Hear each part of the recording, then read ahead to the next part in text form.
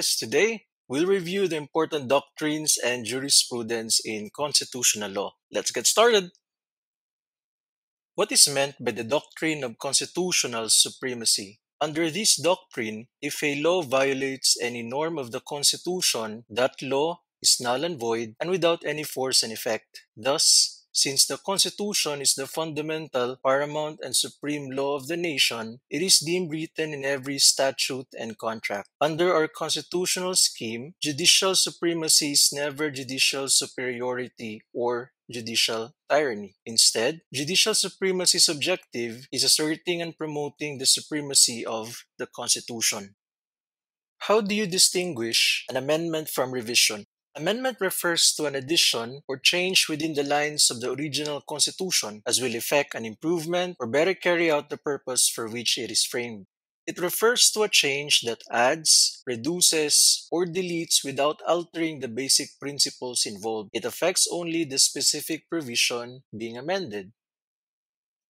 Revision broadly implies a change that alters a basic principle in the Constitution, like altering the principle of separation of powers or the system of checks and balances. There is also revision if the change alters the substantial entirety of the Constitution, as when the change affects the substantial provisions therein. This distinction is significant because the 1987 Constitution allows people's initiative only for the purpose of amending, not revising, the Constitution.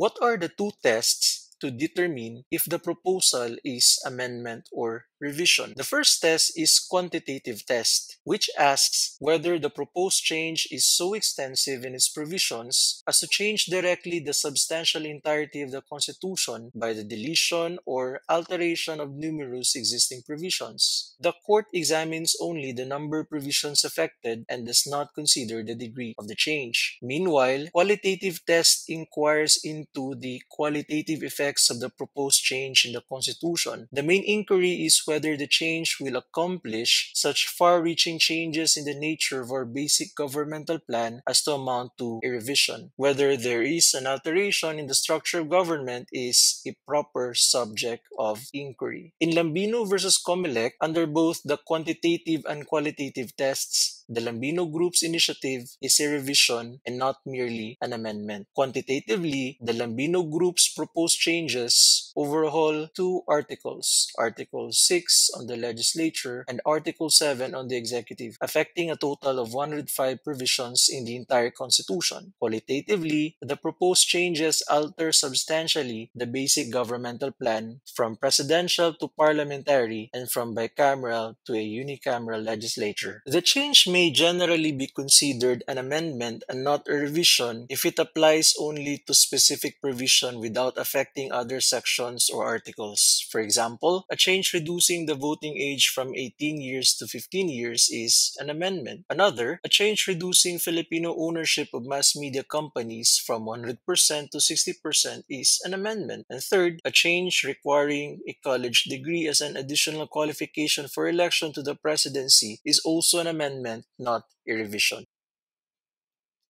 What are the three ways of proposing amendments? First, Congress may directly propose amendment or revision by three-fourth votes of all its members. In such a case, Congress will not be acting as a legislative body, but rather as a constituent assembly, a non-legislative function of Congress. Second is through a constitutional convention. A constitutional convention is a body separate and distinct from that of the Congress itself, whose members shall be elected by the people of their respective districts. There are two ways by which a constitutional convention may be convened. First, Congress may directly call a constitutional convention by two two-third votes of all its members. Second, instead of directly calling a constitutional convention, Congress by majority vote of all its members may submit the question of whether or not to call a convention to be resolved by the people in a plebiscite. And third mode is through people's initiative. People's initiative on the Constitution is done through a petition, but the petition will have to be signed by at least 12% of the total number of registered voters, provided that in each legislative district at least 3% of the registered voters therein shall sign the petition. People's initiative on the Constitution is limited only to proposing amendments to the Constitution, not revision thereof.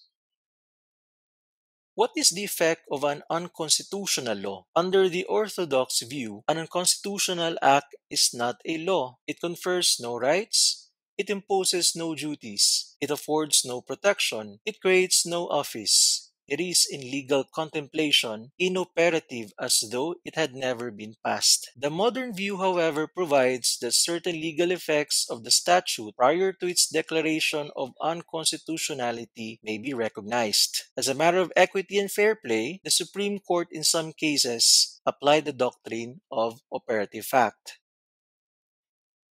What is operative fact doctrine? The operative fact doctrine recognizes the existence of the law or executive act prior to the determination of its unconstitutionality as an operative fact that produces consequences that cannot always be erased, ignored, or disregarded. In short, it nullifies the void law or executive act but sustains its effects. It provides an exception to the general rule that a void or unconstitutional law produces no effect, but its use must be subjected to great scrutiny and circumspection, and it cannot be invoked to validate an unconstitutional law or executive act, but is resorted to only as a matter of equity and fair play.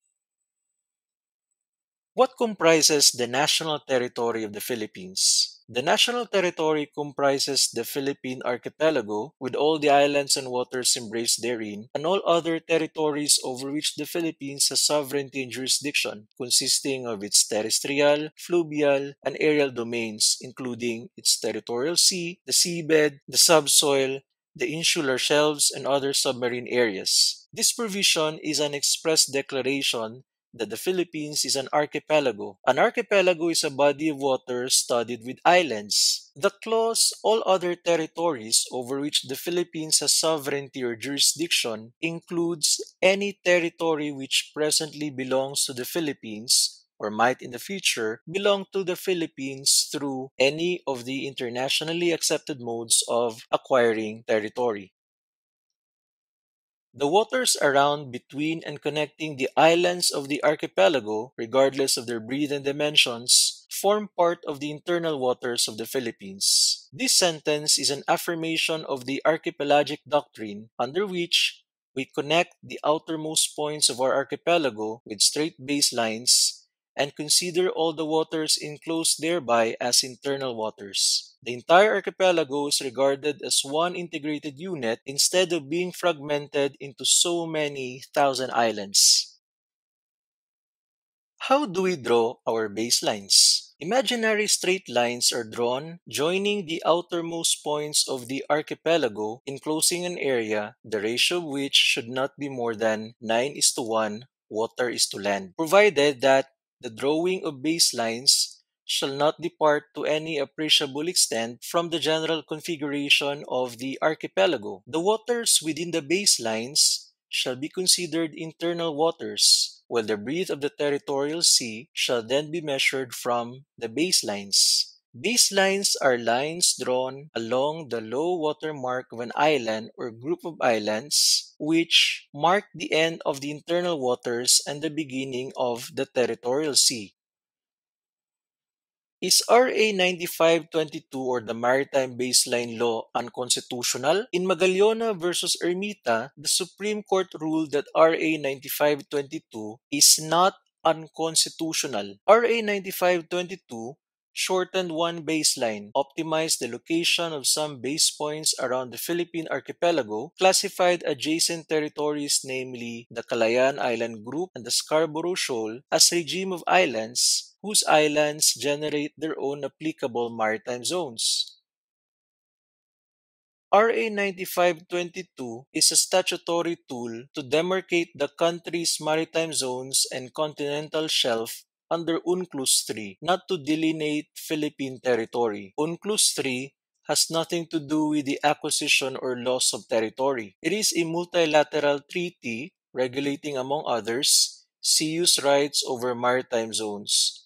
That is, the territorial waters is 12 nautical miles from the baselines, contiguous zone is 24 nautical miles from the baseline, exclusive economic zone is 200 nautical miles from the baseline, and continental shelves that UNCLOS 3 delimits. Thus, baseline laws are nothing but statutory mechanisms for UNCLOS 3 state parties to delimit with precision the extent of their maritime zones and continental shelves. In turn, this gives notice to the rest of the international community of the scope of the maritime space and submarine areas within which state parties exercise treaty based rights, namely, the exercise of sovereignty over territorial waters, the jurisdiction to enforce customs, fiscal, immigration, and sanitary laws in the contiguous zone and the right to exploit the living and non-living resources in the exclusive economic zone and continental shelf. Is the state immune from suit? As a rule, the state may not be sued without its consent. This is also known as the royal prerogative of dishonesty, a constitutional doctrine of non-suability of the state, privilege it grants the state to defeat any legitimate claim against it by simply invoking its non-suability. There are many reasons why the state is immune from suit. First, indiscriminate suit against the state will result in the impairment of its dignity, being a challenge to its supposed infallibility. Second, this is based on the logical and practical ground that there can be no legal right against the authority which makes the law on which the right depends. Is the rule absolute? The rule is not really absolute, for it does not say that the state may not be sued under any circumstances. On the other hand, the doctrine only conveys the state may not be sued without its consent. Its clear import then is that the state may at times be sued. The state's consent may be given either expressly or impliedly.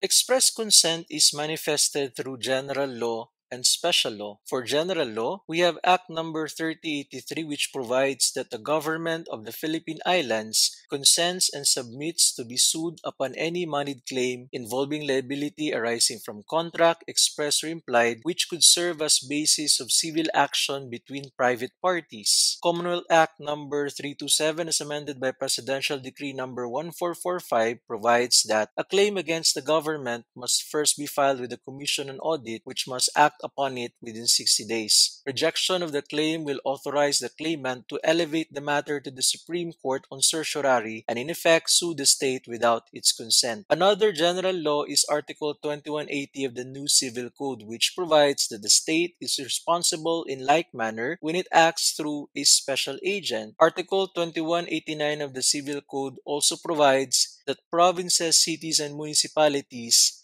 shall be liable for damages for the death of or injury suffered by any person by reason of the defective condition of roads, streets, bridges, public buildings, and other public works under their control or supervision. The express consent of the state to be sued must be embodied in a duly enacted statute and may not be given by mere counsel of the government. There is implied consent when the government engages in commercial or business transaction. In such a case, the government is suable. As an exception, however, it is not suable if it is merely incidental to the exercise of its principal governmental function. Implied consent is also given when the government enters into a proprietary contract, or when the government initiates the filing of a complaint for affirmative relief, then that is considered as a waiver of its immunity.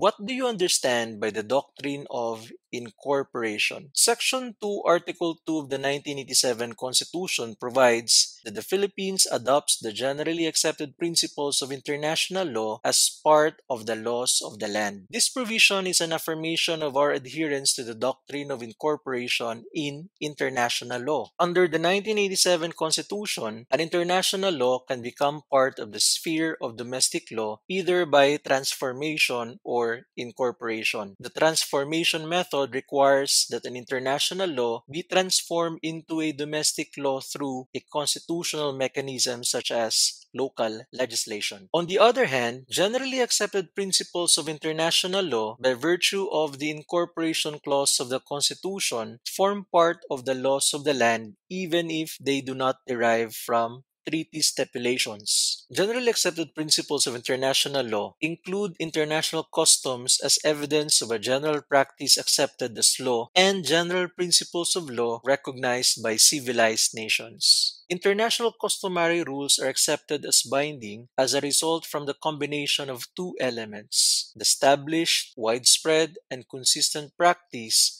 on the part of states, and a psychological element known as opinio juris sivi necessitatis, or opinion as to law or necessity. Implicit in the latter element is a belief that the practice in question is rendered obligatory by the existence of a rule of law requiring it. General principles of law recognized by civilized nations are principles established by a process of reasoning or judicial logic based on principles which are basic to legal systems generally, such as general principles of equity, general principles of fairness and justice, and the general principles against discrimination. These are the same core principles which underlie the Philippine Constitution itself and embodied in the Due Process and Equal Protection Clause.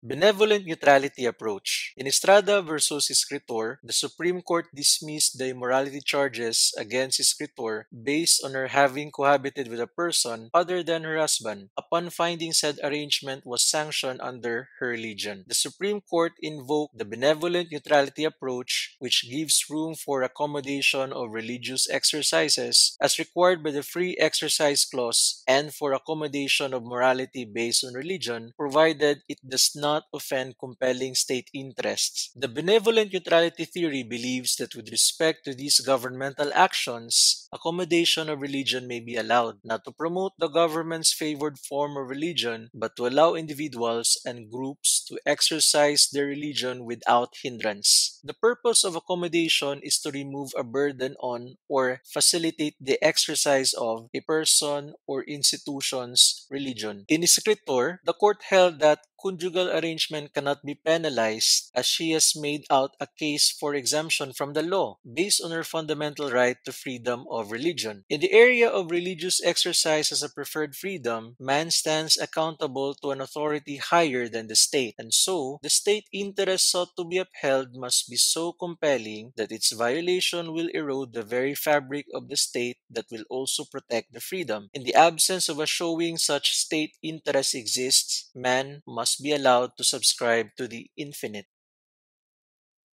right to life of the unborn. The Philippine National Population Program has always been grounded on two cornerstone principles the principle of no abortion and the principle of non coercion. These principles are not merely grounded on administrative policy, but rather originates from the constitutional protection which expressly provided to afford protection to life and guarantee religious freedom. The policy of the law is to protect the fertilized ovum and that it should be afforded safe travel to the uterus for implantation.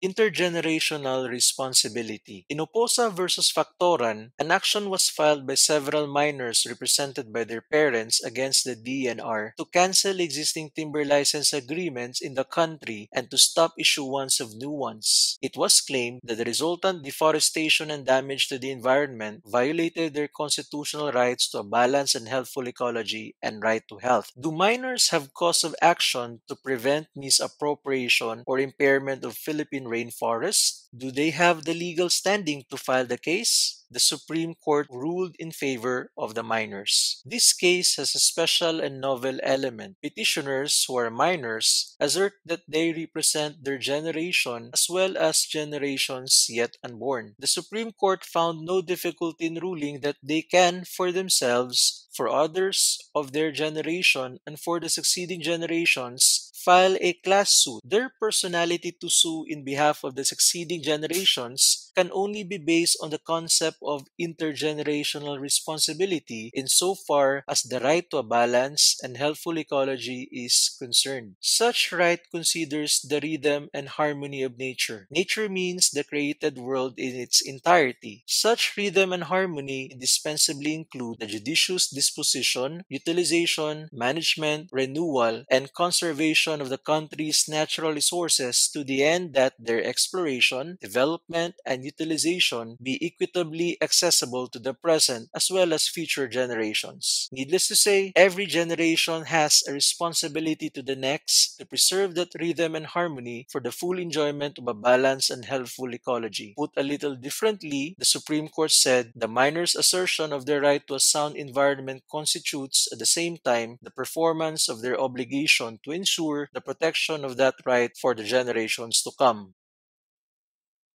Precautionary principle. Under this rule, the precautionary principle finds direct application in the evaluation of evidence in cases before the courts. This bridges the gap in cases where scientific certainty in factual findings cannot be achieved. By applying this principle, the court may construe a set of facts as warranting either judicial action or inaction with the goal of preserving and protecting the environment. Hence, bias is created in favor of the constitutional right right of the people to a balanced and healthful ecology. In effect, the precautionary principle shifts the burden of evidence of harm away from those likely to suffer harm and onto those desiring to change the status quo. An application of the precautionary principle to the rules on evidence will enable courts to tackle future environmental problems before ironclad scientific consensus emerges. For purposes of evidence, the precautionary principle should be treated as a principle of last last resort where application of regular rules on evidence would cause in an inequitable result for the plaintiff. When in doubt, cases must be resolved in favor of the constitutional right to balance and healthful ecology.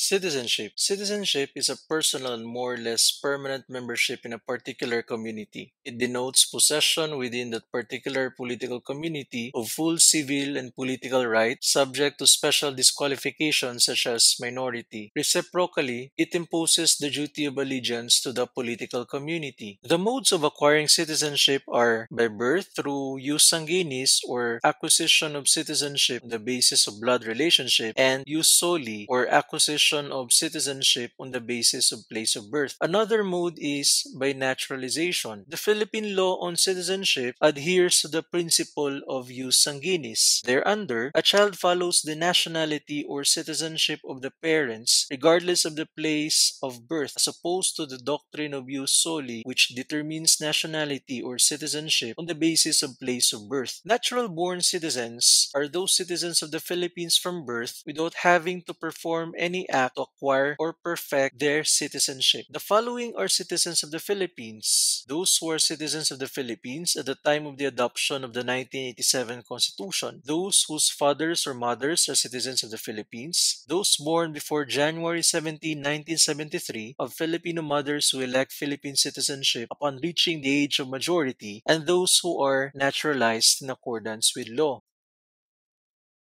Foundlings are considered natural born Filipino citizens. The laws that recognize the citizenship of foundlings are number one, the Constitution. Deliberations of the 1934 Constitutional Convention show that the framers intended foundlings to be covered in the enumeration of citizens of the Philippines under the 1935 Constitution. While the 1935 Constitution's enumeration is silent as to foundlings, there is no restrictive language which would definitely exclude the foundlings. This inclusive policy is carried over into the 1973 and 1987 Constitution. Second, domestic laws on adoption illuminate that foundlings are Filipinos. While said law does not provide that adoption confers citizenship upon the adoptee, the adoptee must be a Filipino in the first place to be adopted. As adoption deals with status, courts will have jurisdiction only if the adoptee is a Filipino. International laws like the Universal Declaration of Human Rights, United Nations Convention on the Rights of the Child and the 1966 International Covenant on Civil and Political Rights recognize the nationality of foundlings. The common thread of the UDHR, UNCRC, and ICCPR is to obligate the Philippines to grant nationality from birth and to ensure that no child is stateless. This grant of nationality must be at the time of birth. Moreover, the 1930 Hague Convention on certain questions relating to the conflict of nationality laws and 1961 United Nations Convention on the reduction of statelessness, while not ratified by the Philippines, the the provisions contained therein are considered generally accepted principles of international law. By virtue of the incorporation clause under our present constitution, the said principles are considered part of the laws of the land. Republic Act 11767 Foundling Recognition and Protection Act A foundling found in the Philippines and or in Philippine embassies, consulates and territories abroad is presumed natural-born Filipino citizen regardless of the status or circumstances of birth. A foundling is accorded with rights and protections at the moment of birth equivalent to those belonging to such class of citizens whose citizenship does not need perfection or any further act. The presumption of natural-born status of a foundling may not impugned in any proceeding unless substantial proof of foreign parentage is shown. Lastly, status is not affected by the fact that the birth certificate was simulated or that there was absence of a legal adoption process or that there was inaction or delay in reporting, documenting, or registering a foundling. The party list system. The party list system is intended to democratize political power by giving political parties that cannot win in legislative district elections a chance to win seats in the House of Representatives. The voter elects two representatives in the House of Representatives, one for his legislative district and another for his party list group or organization of choice. In Ang Atong Paglaom versus Comelec, the Supreme Court ruled that there are three different that may participate in the party list system. 1. The national parties organizations. 2. Regional parties organizations. And 3. Sectoral parties or organizations. National parties organizations and regional parties organizations do not need to organize along sectoral lines and do not need to represent any marginalized and underrepresented sector.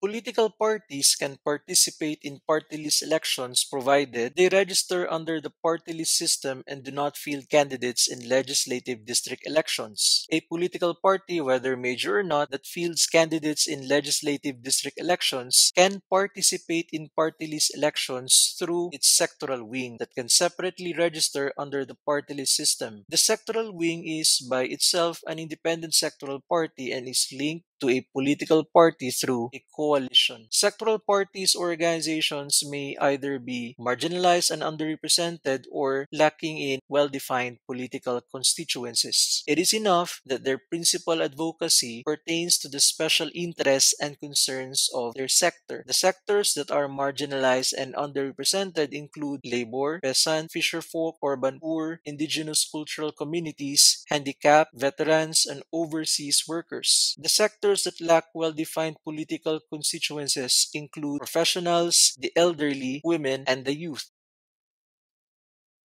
A majority of the members of sectoral parties or organizations that represent the marginalized and underrepresented must belong to the marginalized and underrepresented sector they represent. Similarly, a majority of the members of the sectoral parties or organizations that lack well-defined political constituencies must belong to the sector they represent. As for the nominees of sectoral parties or organizations that represent the marginalized and underrepresented or that represent those who lack well-defined political constituencies, the new guidelines provide that they must either be member of the sectors or must have a track record of advocacy for their respective sectors. On the other hand, the nominees of national and regional parties or organizations must be bona fide members of such parties or organizations. Should some nominees of the national, regional, and sectoral parties or organizations are disqualified, the party or organization itself will not be disqualified provided that they have at least one nominee who remains qualified.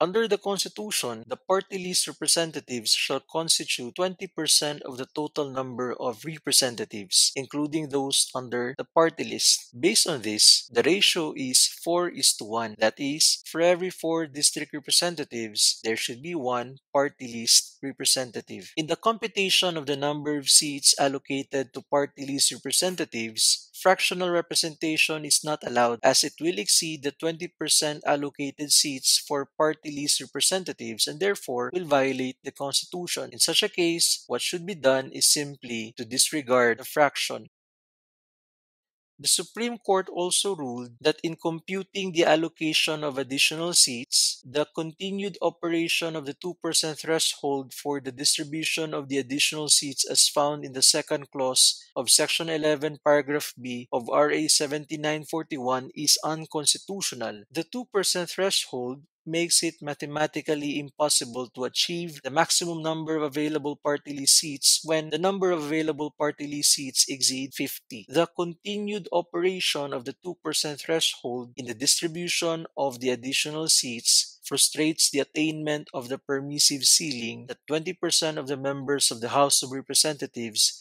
shall consist of party list representatives.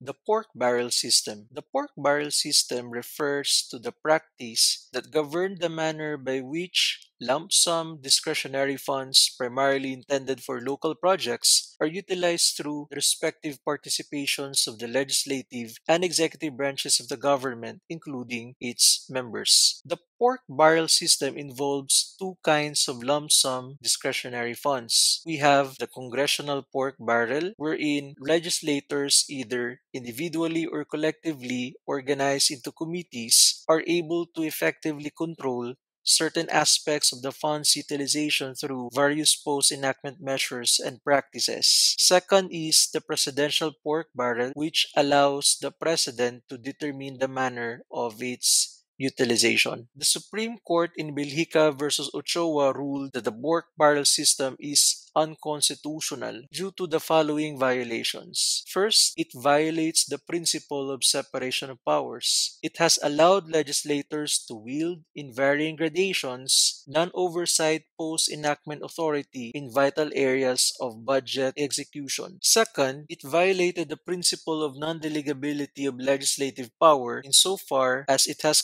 conferred unto legislators the power of appropriation by giving them personal discretionary funds from which they're able to fund specific projects which they themselves determine. Third, it denied the president the power to veto items insofar as it has created a system of budgeting wherein items are not textualized into the appropriations bill. It has flouted the prescribed procedure of presentment. Fourth, it impaired public accountability insofar as it has diluted the effectiveness of congressional oversight by giving legislators a stake in the affairs of budget execution, an aspect of governance which they may be called to monitor and scrutinize. Fifth, it subverted genuine local autonomy insofar as it has authorized legislators who are national officers to intervene in affairs of purely local nature despite the existence of capable local institutions. And lastly, it transgressed the principle of non-delegability insofar as it has conferred to the President the power to appropriate funds intended by law for energy-related purposes only to other purposes he may deem fit as well as other public funds under the broad classification of priority infrastructure development projects. Power of augmentation. The transfer of appropriated funds to be valid under the Constitution must be made upon the concurrence of the following requisites. Number one, there is a law authorizing the President, the President of the Senate, the Speaker of the House of Representatives, the Chief Justice of the Supreme Court, the heads of the constitutional commissions to transfer funds within their respective offices. Second, the funds to be transferred are savings generated from the appropriations of their respective offices. And third, the purpose of the transfer is to augment an item in the general appropriations law for their respective offices. Legislative inquiry. The Senate and the House of Representatives may conduct inquiries in aid of legislation. The inquiry, to be within the jurisdiction of the legislative body making it, must be material or necessary to the exercise of a power in it vested by the Constitution, such as to legislate or to expel a member. It follows then that the rights of persons under the Bill of Rights must be respected, including the right to due process and the right not to be compelled to testify against oneself. In Bengzon Jr. versus Senate Blue Ribbon Committee, two issues were raised. First, is the power to conduct inquiries in aid of legislation absolute? And second, is the power subject to judicial review? A mere reading of the codal provision will show that the power is not really absolute, hence there are three limitations. Number one, the inquiry must be in aid of legislation. Second, it must be conducted in accordance with the duly published rules of procedure of a House of Congress conducting such inquiry. And third, the rights of persons appearing in or affected by such inquiry shall be respected. Since the power is not absolute, it therefore follows that such is subject to judicial review, especially in view of the expanded power of the court to determine whether or not there has been grave abuse of discretion amounting to lack or excess of jurisdiction on the part of any branch or instrumentality of the government. Oversight functions of Congress. The heads of departments may, upon their own initiative, with the consent of the President, or upon the request of either House, as the rules of each House shall provide, appear before and be heard by such House on any matter pertaining to their departments. The Congress has the power to question department heads, the objective of which is to obtain information in pursuit of Congress's oversight function. Here, attendance is discretionary, hence, it is valid for the President to require that consent be obtained first before heads appear in Congress during question hour. Resultantly, Congress cannot require the appearance of executive officials if the required consent of the President is not obtained first or if no such consent is given.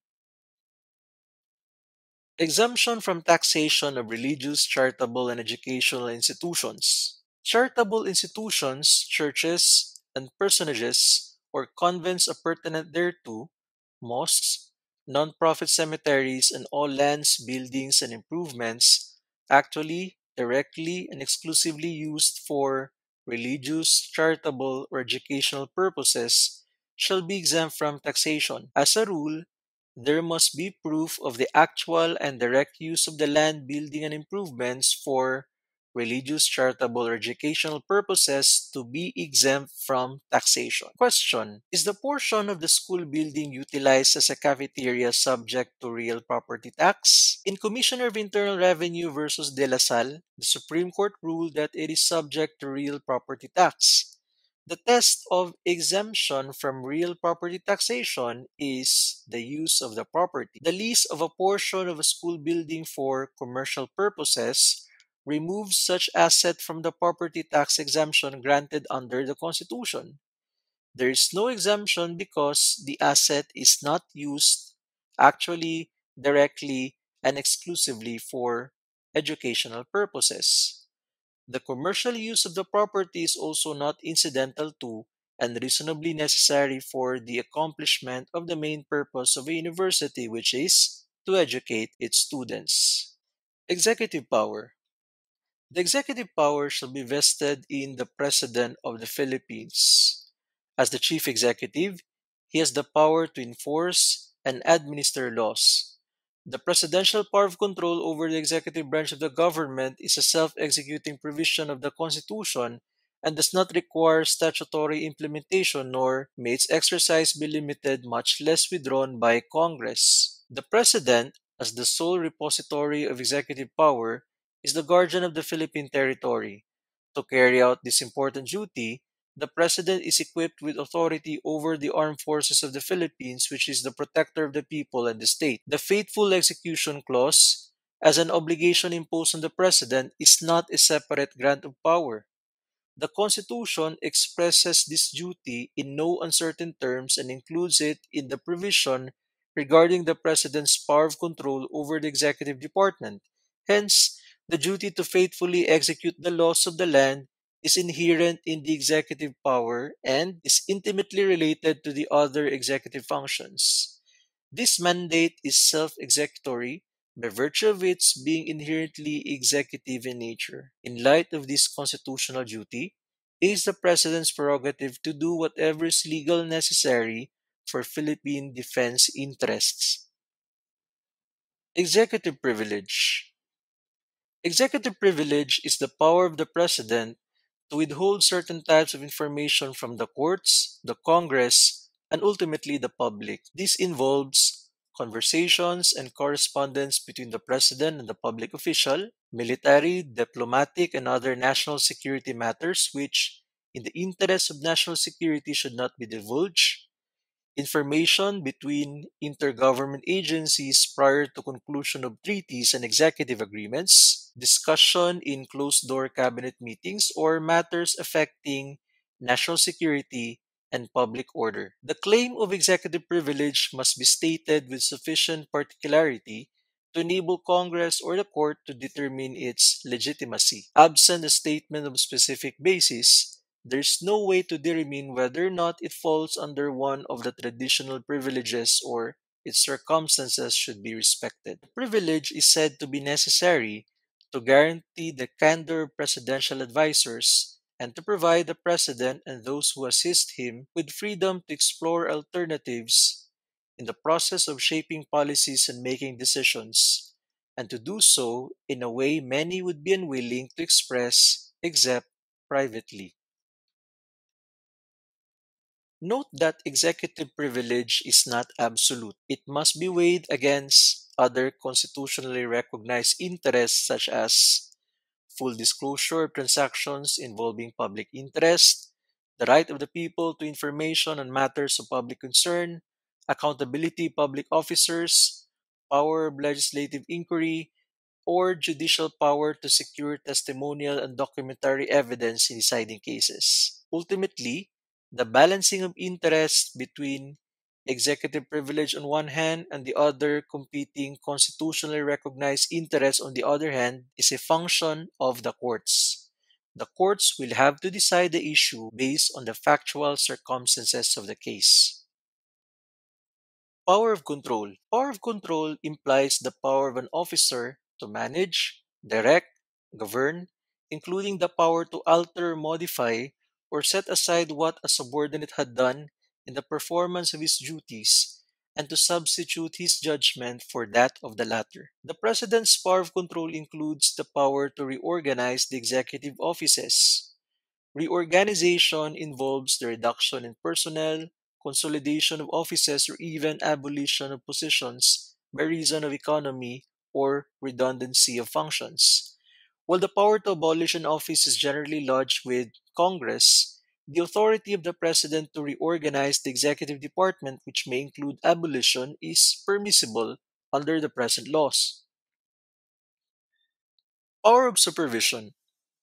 Supervision means overseeing. The officer sees to it that subordinate officers perform their duties. If the subordinates fail or neglect to fulfill them, then the officer may take such action or steps as prescribed by law. In short, the officer merely sees to it that the rules are followed, but he does not lay down such rules nor does he have the discretion to modify or replace them. At present, the President exercises general supervision over local government units and the autonomous regions. Doctrine of Qualified Political Agency this doctrine recognizes the establishment of a single executive department. All department heads are alter egos of the president, and except in cases where the chief executive is required by the Constitution or law to act in person, or the exigencies of the situation demand that he act personally, the multifarious executive and administrative functions of the chief executive are performed by and through the executive departments, and the acts of the secretaries of such departments performed and promulgated in the regular course of business are, unless disapproved or reprobated by the chief executive, is presumably the acts of the chief executive. Power of appointment. The appointing power is the exclusive prerogative of the president. No limitations may be imposed by Congress except those resulting from the need of securing the concurrence of the Commission on Appointments. Second, all other officers of the government whose appointments are not otherwise provided for by law. Third, those whom the President may be authorized by law to appoint. Fourth, officers lower in rank whose appointments the Congress may by law vest in the President. It is well settled that only presidential appointment belonging to the first group require the confirmation by the Commission on Appointments. In short, with respect to appointments involving the heads of the executive departments, ambassadors, other public ministers, and consuls, officers of the armed forces of the Philippines from the rank of colonel or naval captain, and other officers whose appointments are vested in him the Constitution, This group of appointees require the confirmation by the Commission on Appointments. Also take note on the distinction between regular and ad interim appointment. Regular appointment is one made by the President while Congress is in session. It takes effect only after confirmation by the Commission on Appointments and once approved, it continues until the end of the term of the appointee. Ad interim appointment is one made by the President while Congress is not in session. It takes effect immediately but ceases to be valid if disapproved by the Commission on Appointments or upon the next adjournment of Congress. Midnight appointment. Two months immediately before the next presidential elections and up to the end of his term, a president shall not make appointments except temporary appointments to executive positions when continued vacancies therein will prejudice public service or endanger public safety. After the proclamation of the election of new president, the outgoing president is no more than a caretaker. The prohibition on midnight appointment applies only to presidential appointees. There is no law that prohibits local elective officials from making appointments during the last days of his tenure. Also, the prohibition does not extend to appointments in the judiciary because the establishment of the Judicial and Bar Council and their subjecting the nomination and screening of candidates for judicial positions to the unheard and deliberate prior process of the JBC ensured that there would no longer be midnight appointments to the judiciary. Indeed, the creation of the JBC was precisely intended to depoliticize the judiciary by doing away with the intervention of the Commission on Appointments. Military powers of the President. The President shall be the Commander in Chief of the Armed Forces of the Philippines, and whenever it becomes necessary, he may call out such armed forces to prevent or suppress lawless violence, invasion, or rebellion. Second, he has the power to suspend the privilege of the writ of habeas corpus. And third, to place the Philippines or any part thereof under martial law in case of invasion or rebellion when the public safety requires it. What are the effects of the suspension of the privilege of the writ of habeas corpus? The suspension of the privilege of the writ applies only to persons judicially charged for rebellion or offenses inherent in or directly connected with invasion. Such persons suspected of the above crimes can be arrested and detained without a warrant of arrest. The suspension of the privilege does not make the arrest without warrant legal. The arrest without warrant is justified by the emergency situation and the difficulty in applying for a warrant considering the time and the number of persons to be arrested. However, during the suspension of the privilege of the writ, any person thus arrested or detained shall be judicially charged within three days. Otherwise, he shall be released. The effect of the suspension of the privilege, therefore, is only to extend the periods during which he can be detained without a warrant. When the privilege is suspended, the period is extended to 72 hours. Martial law. Martial law is essentially a police power.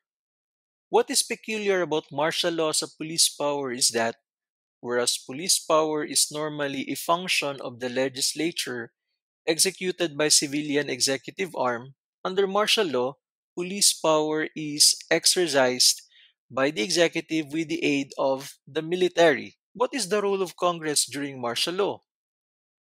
Congress may revoke the proclamation of martial law or suspension of the privilege of the writ of habeas corpus before the lapse of 60 days from the date of suspension or proclamation.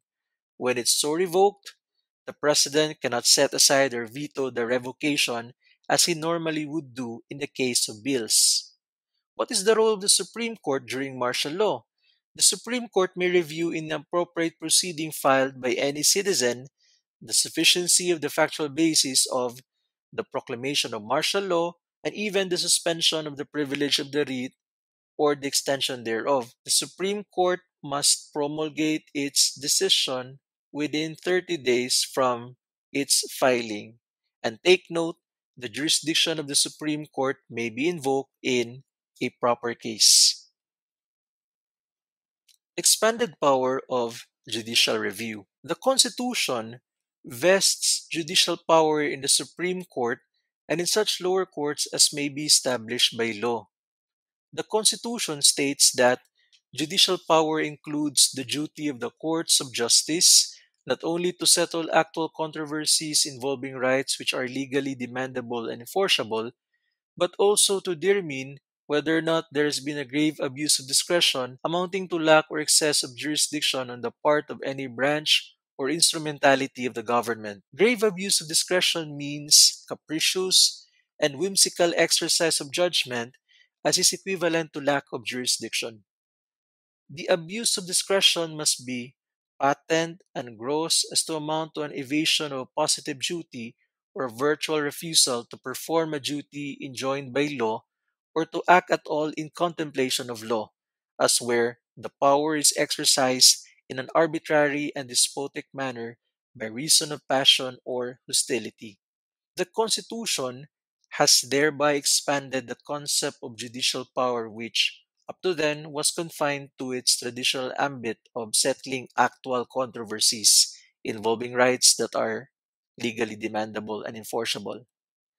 The background and rationale of the expansion of judicial power under the 1987 Constitution is due to the great responsibility of the judiciary in maintaining the allocation of powers among the three branches of the government. Requisites of judicial review. First, there must be an actual case or controversy. This means that there must be a genuine conflict of legal rights and interests which can be resolved through judicial determination. Otherwise, the court will not decide the question of law when there is no actual case or controversy unless there is first, grave violation of the Constitution, second, paramount public interests involved, third, the constitutional issue raised requires formulation of controlling principles to guide the bench, the bar, and the public. Fourth, the case is capable of repetition yet evading review, or fifth, when the subject in issue is of transcendental importance. The second requisite is the person challenging the act must have the legal standing to challenge. A proper party is one who has sustained or is in imminent danger of sustaining a direct injury as a result of the act complained of. Third requisite, question must be raised at the earliest opportunity. As a general rule, the question of constitutionality must be raised at the earliest opportunity so that if not raised by the pleadings, Ordinarily, it may not be raised at the trial, and if not raised in the trial court, it will not be considered on appeal. There are exceptions, however. In criminal cases, at the discretion of the court, it may be brought at any stage of the proceedings since an act shall not be punished when there is no law punishing it. In civil cases, if necessary for the determination of the case itself, it may be brought any time if the resolution of the constitutional issue is inevitable in resolving the main issue. And third, when the jurisdiction of the court is involved except when there is estoppel. Fourth requisite, the issue of unconstitutionality is unavoidable or the lis mota of the case. Petitioner must be able to show that the case cannot be legally resolved unless the constitutional question raised is determined. This requirement is based on the rule that every law has in its favor the presumption of constitutionality. To justify its nullification, there must be a clear and unequivocal breach of the Constitution and not one that is doubtful, speculative, or argumentative.